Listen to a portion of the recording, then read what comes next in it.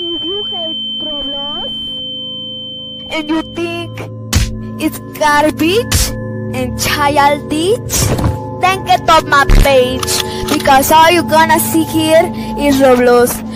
Good!